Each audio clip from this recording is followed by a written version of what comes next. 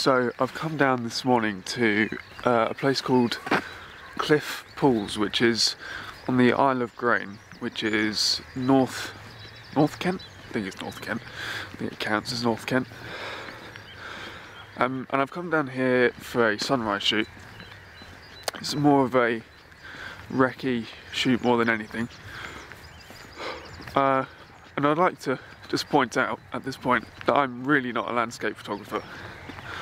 Like I enjoy taking landscapes and I think it's good to experiment with taking landscapes and other forms of photography but this really isn't my kind of thing. However, I've got a project that I need to do and I thought this is probably the best location for me to do it and I thought I might as well just make a little video whilst I'm here as well so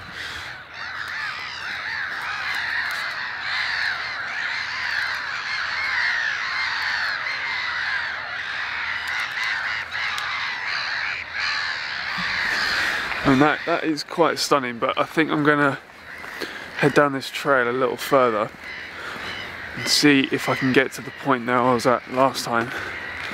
Because that pool is quite big.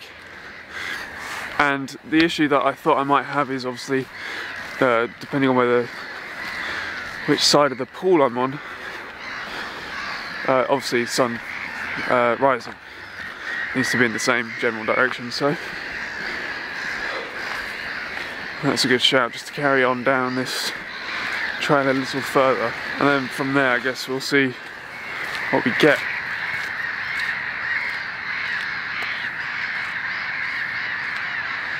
So Cliffe Pools is actually an RSPB reserve and they use the dredgings from the River Thames to build it up. Um, just handy because River Thames is just next door. This really isn't very far from my home. It's like a half hour drive from my front door. And I think there's a very much a, a thing about having to travel far and wide to get really good images and go to all these crazy places. And I think there's very much something to be said about shooting close to home. And I only really started to realise that when I watched a documentary about Don McCullin uh, documentary photographer, wartime photographer, who came back and he wanted to photograph all the sort of towns and villages around where he lived and like where he grew up. Um, and it's funny seeing some places like Eastbourne, which again isn't very far from me. It's maybe an hour and a half drive or so, um, maybe a bit more than that. But even even to that point, you know, it's not like it's not the Alps. And I'm not saying this is the Alps, obviously. Um, but I mean, it is quite incredible. And you can see the sun just starting to rise behind me. So I think I'm gonna have to try and find this place fairly soon, because otherwise it's just gonna burn through all this mist.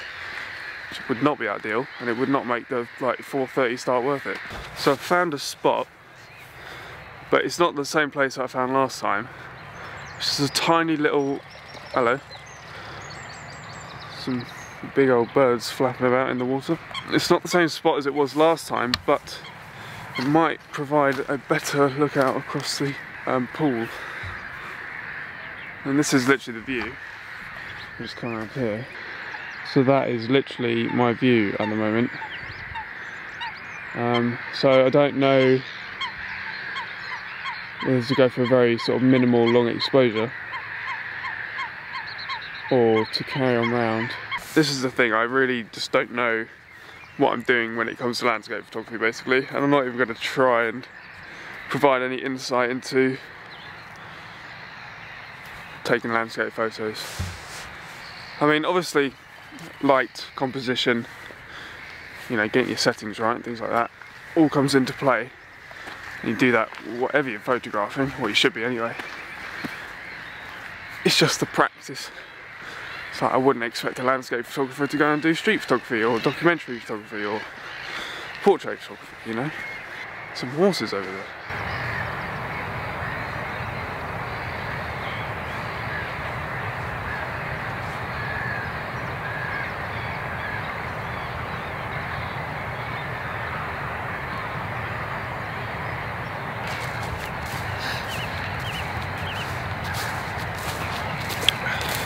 So that was pretty cool.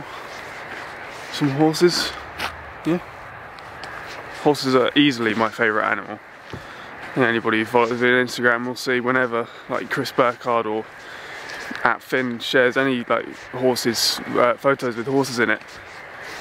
I just love them. I just love the yeah, they're easily my favourite animal. Like film Warhorse is obviously very sort of uh, dear to my heart. And uh, yeah, so if nothing else, seen some horses. So I am having real troubles finding this spot, which is annoying because that's just annoying, isn't it? Unless I just look on maps. Actually, just a quick look on Google Maps. I think it's saying that it is that way. Um, so I'll go that way, I think. So it's uh, it's uh, going well. Um, please don't bite my head off for not being very prepared at all. I guess when you do street photography you could just go somewhere and I guess anywhere you can do street photography. Or any sort of documentary. This is very much more something that I think I need to work on is my planning and pre-production. Aha, here we go. So I think this is where I was last time. So yeah, this is a little bit of information about the area. Um, pause that if you want to read it. but yeah, it's um, it's quite a cool little place. I think through here is where I need to be going. This little trail should hopefully, fingers crossed, take us down to the edge of the pool, which it does. Excellent. I think I'm gonna try and work some compositions around here. I mean, this is incredible. Like, I, it doesn't really show up on camera at all, but just how foggy it is, and you can see where the sun's rising in this blown out bit here. I think we're going to go for something quite minimal, maybe down here. Nice little traffic cone in the water. Wouldn't be Kent if there weren't traffic cones in the water everywhere. This is really sort of, it's quite eerie, to be honest with you. Sort of like Walking Dead kind of vibes around here.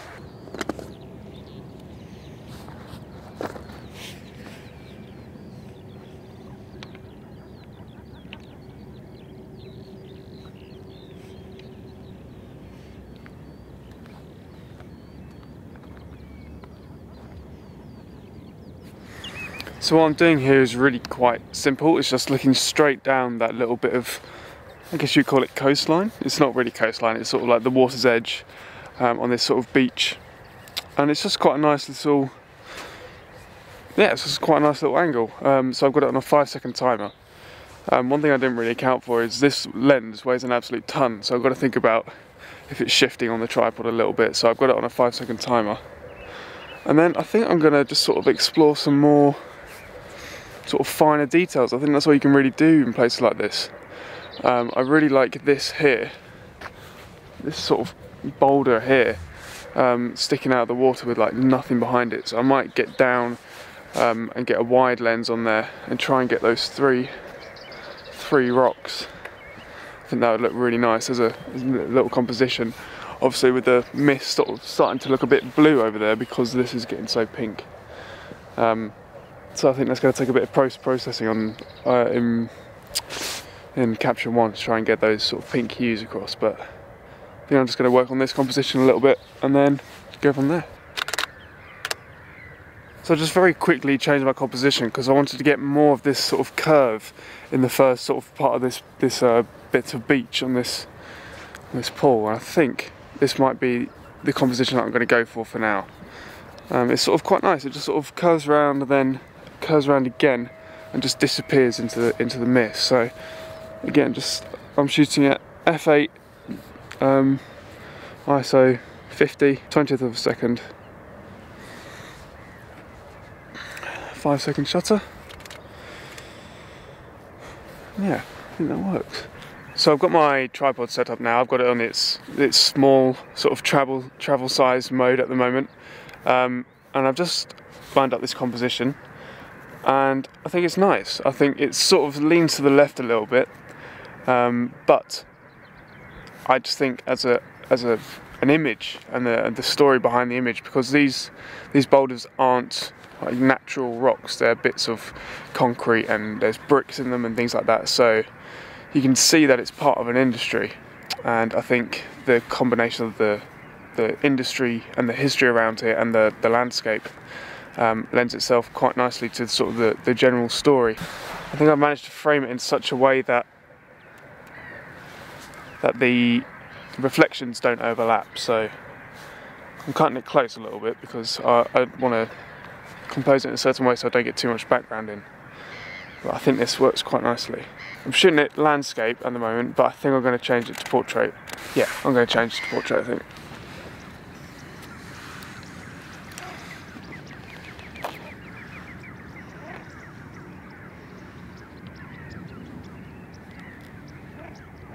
It's very strange being surrounded by all these birds. They're just going off on one. One went off earlier. I thought it was an alarm for something, but it was just a pheasant being annoying. I think this works a lot better in portrait actually. Might recompose it in a second. Let's see how this comes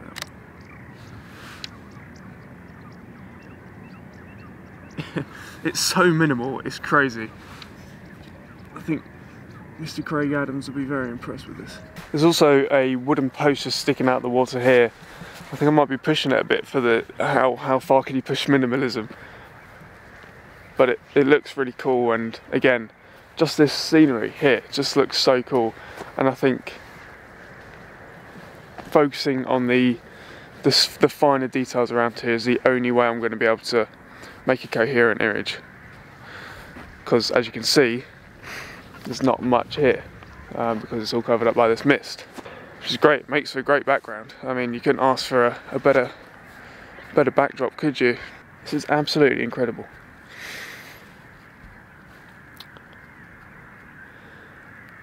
I think it was definitely worth definitely worth the 4.30 start I think.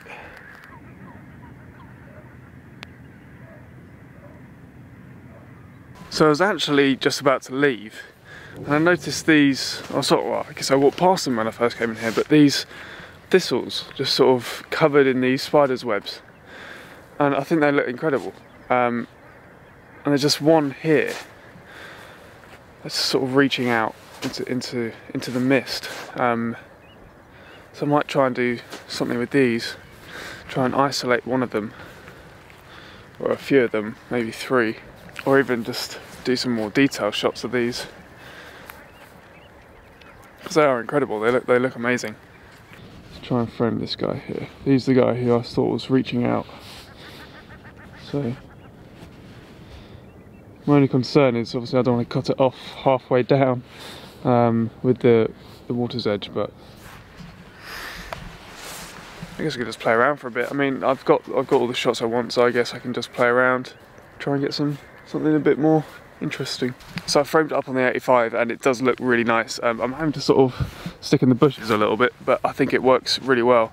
Um, I'm going to try shooting at a shallow aperture as well, and I know that landscape photographers tend to go towards sort of the f8, f11 region of things, um, even up to like f16, um, but f11 sort of like the sweet spot. But I think I'm going to try and shoot at maybe like f4, uh, maybe even go down to like 2.8 to see if I can really just pinpoint that one sort of stem of uh, thistle in the background. So let's do that. So that worked really nicely at f4. I think I am going to drop it down to 2.8.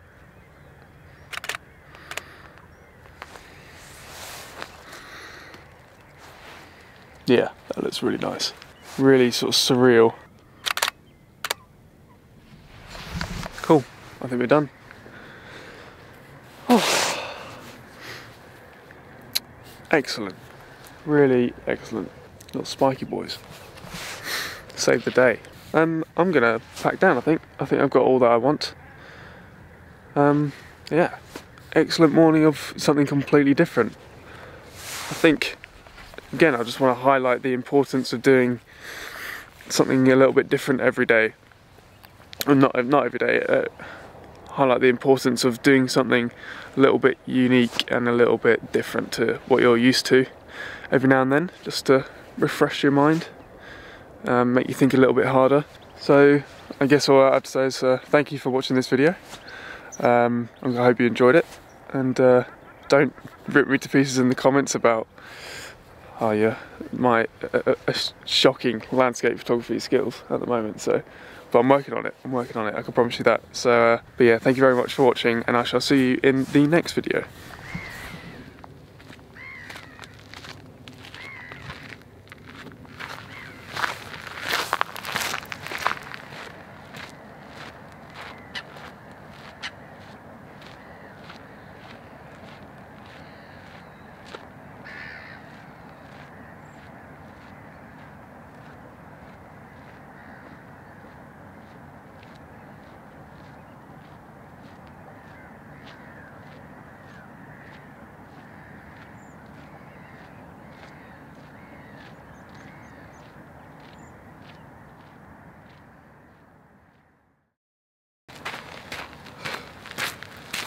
That look cool.